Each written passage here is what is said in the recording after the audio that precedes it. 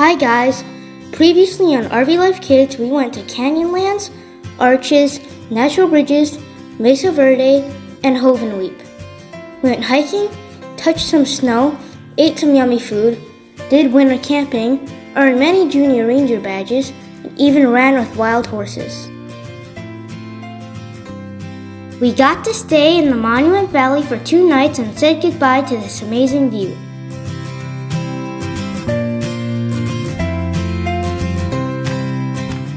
To go to our next destination, Navajo National Monument. We found this place while we were mapping our route to Page, Arizona. It took only one hour to the National Monument from Monument Valley. We were the only ones going there, of course. We stopped at the park sign. They have a unique wooden park sign. The Navajo National Monument was established in 1909 to protect the cliff dwellings. It's open year round and also a free park, so no entrance fee was required. There was some snow left, and my sister and I got to walk on it. The visitor center was small but had everything we needed. They even had a unique national park stamp. We got our junior ranger booklets. We went back to the RV, ate lunch, and finished our booklets. We received a new badge and a certificate. And now to make it official, I'm gonna have to swear you in, meaning you're gonna raise your right hand and repeat after me, okay?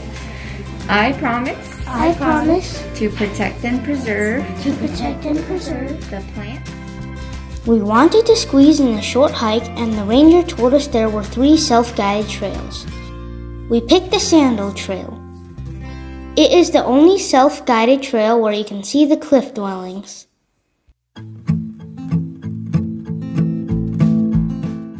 The Sandal Trail is 1.3 mile round trip paved trail with 150 feet elevation change. There was some snow and ice left on the ground from the recent snow. We had to be careful because some parts of the trail were very icy. There were a few bridges like this one.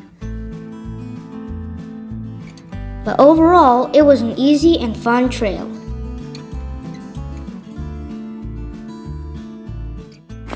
Okay, so we are uh, at Navajo National Monument, and we're hiking the Sandal Trail. So